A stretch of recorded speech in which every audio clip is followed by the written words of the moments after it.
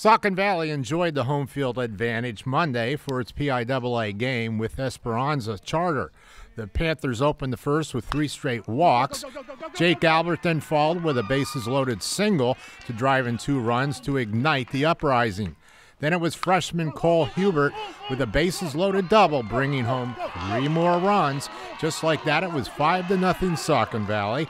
Hubert scored two runs, had two hits, and drove in four runs all told. Cody Swinney then with another RBI single as the Panthers racked up a 9 to nothing lead and batted around without an out. The frame included eight walks and four hits. Saucon sent 14 batters to the plate. Things settled down in the next two innings, Panthers needing six runs to end it in the fourth. Joe DeRusso, Liam Buck, and Albert added RBI singles before Hubert clinches the Mercy Rule win with an RBI single down the left field line. Saucon Valley wins 15 to nothing.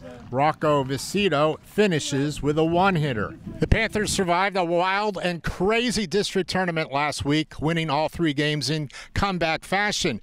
Monday, opening the PIAA tournament, it was a completely different story. You know, it feels pretty good. Um, we usually come back when we're down, but we got out early today. Took advantage of uh, the pitching, and you know the bat the bats were just going really well today. So it helps us out a lot. Helps our pitchers out too.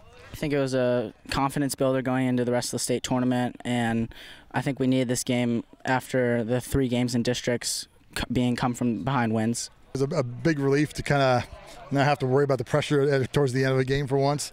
Uh, jumping out to a big lead like that, like the kids were patient. Uh, we had opportunities to hit the ball. We scored some runs.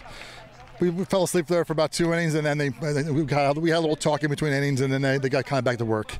So it was good. On the scene, it's Saucon Valley High School. Tom Mykrantz for the SE Network.